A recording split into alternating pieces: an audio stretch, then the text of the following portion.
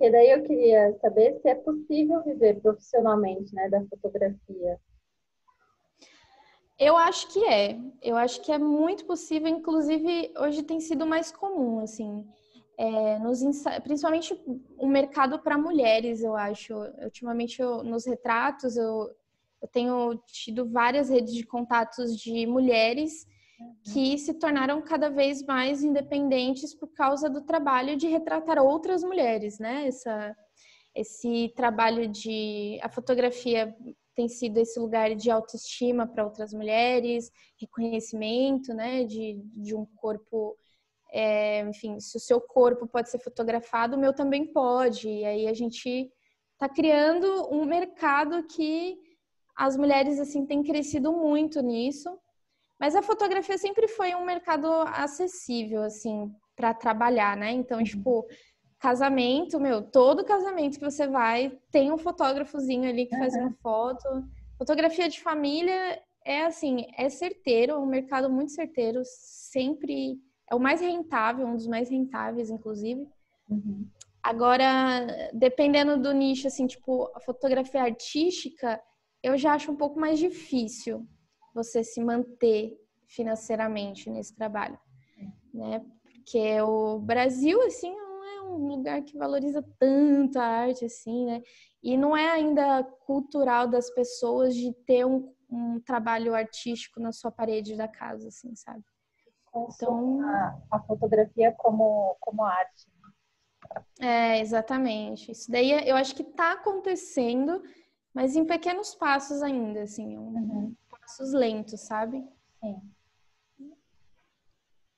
E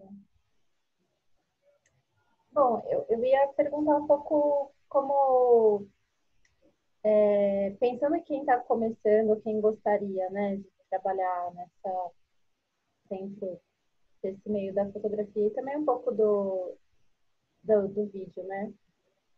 E uhum. você saberia me dizer, assim, o que, que comporta a produção, né? O que, que eu precisaria para produzir um trabalho? Porque daí eu sei que tem vários, vários segmentos, né? Aí, eu não sei se eles são muito diferentes na questão da produção. Você poderia falar um pouco? Ou se é, dar uma, uma visão mais. Meu, assim, é, eu acho que para quem está começando, uma das coisas que eu acho mais importante fazer é experimentar.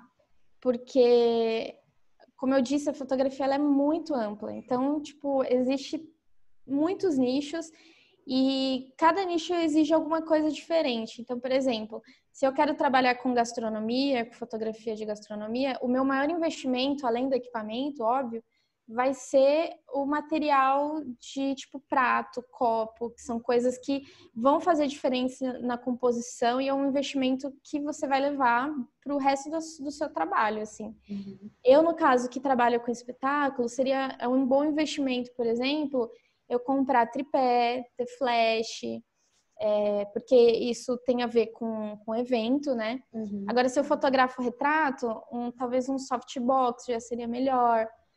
Mas eu acho que o que vale mais, assim, para quem está começando é experimentar. É, é, experimentar um pouco dos nichos e ver no qual você tem mais afinidade, né? Porque aí você consegue aperfeiçoar melhor aquilo.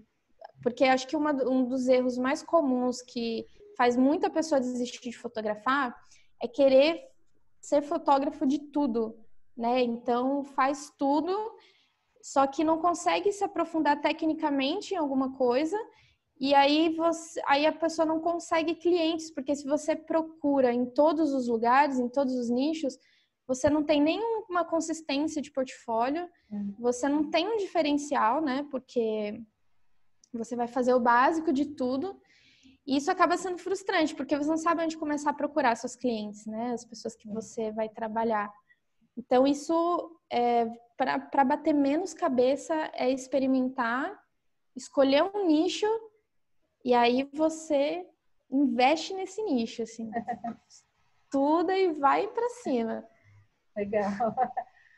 E pensando agora um pouco no seu trabalho, que eu, eu admiro muito, assim, é, e admiro por você ser uma mulher que é da periferia E eu queria saber assim, o que você, qual você vê, qual a importância que você vê da, desses artistas, desses trabalhos que surgem na periferia, né? Que nascem na periferia. Você poderia me dizer alguma coisa. Ai, meu, eu sou mais suspeita para falar, porque eu trabalho muito com a periferia, né? Tipo, muito mesmo, assim.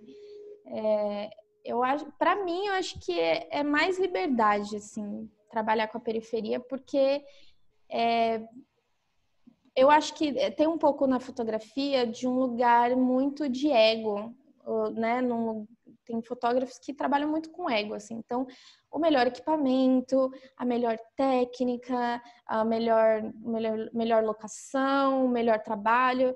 E a periferia é um pouco do, meu, vamos fazer, quero fazer, vamos fazer. Ah, não tem, tem. A gente tem uma improvisação. Aqui também, acabei de improvisar. Essa luz aqui que vocês estão me vendo, é de um LED, de lâmpada, que eu fiz uma gambiarra, coloquei na tomada e vou usar nos meus ensaios. Paguei 26 reais. Um LED específico é 800 reais. Sim. Eu não tenho esse valor. Mas a periferia cria, assim, ela é criativa, né? Então, é o lugar que eu mais me identifico, assim. Então, os meus trabalhos mais criativos veio de processos dentro da periferia. Isso uhum. eu posso garantir, assim muito. Tanto o, eu fiz um trabalho com a temática da menstruação e eu fiz assim num momento muito. Eu vi uma matéria, me deixou muito abalada e aí eu queria fotografar, comecei a construir na minha sala, assim, tipo, fiz uns altos retratos, deixei ele de molho uns três meses. Quando eu publiquei uma revista periférica de mulheres lésbicas, elas viram o trabalho e tinha super a ver com o tema que elas iam lançar no mês seguinte, que era sobre a história dos absorventes e tudo mais. E aí essas é. minas da Perifa compraram essa foto para ir de capa da revista, assim. E eu fiquei assim, tipo, cara, muito louco, assim, porque uhum. eu fiz totalmente improvisado, foi um trampo muito amador, assim, né? Tipo, uhum. eu fiz para mim e alguém da periferia reconheceu o meu trampo, comprou o meu trabalho, porque elas não me pediram a foto, elas compraram essa foto. Uhum. E não perguntaram o valor, assim. Joguei o valor, compraram e foi muito incrível, assim, porque elas distribuem essa revista para o Brasil todo, sabe? Uhum. E com certeza, se a gente, talvez se eu estivesse competindo com uma galera que não era da perifa, muita coisa poderia ter sido feita melhor, entendeu? Uhum. Tipo, então eu, eu gosto mais, assim, prefiro. Perifa é vida.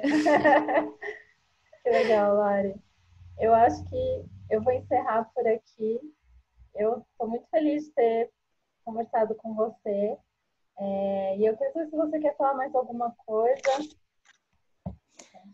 Ah, eu que agradeço, na verdade, o convite. Eu, se deixar, eu falo bastante, né? já conhece a peça.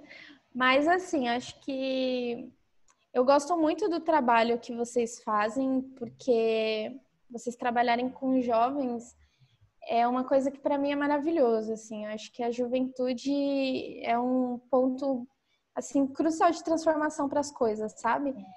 Então, eu acho que o que vocês estão fazendo é incrível. Eu costumo muito pensar nisso, assim. Eu gosto de trazer um pouco uh, o meu trabalho para a periferia, porque eu acho que daqui sai muita coisa importante, é, principalmente com gente que está experimentando, né, é, uhum. descobrindo a fotografia como linguagem, como profissão. Então, acho que essa live aí espero que ajude muitas pessoas a, a, investir na fotografia, porque é um mercado muito, muito maravilhoso e libertador também. Do mesmo jeito, tem, tem os dois lados, né? Uhum. Mas acho que das profissões a fotografia ela é mais livre assim nesse sentido, porque você vende o seu olhar e a sua cultura, né? Então isso é maravilhoso. Assim. Sim. Então é isso. Obrigada, Lari. Obrigada. Obrigada Até. Até.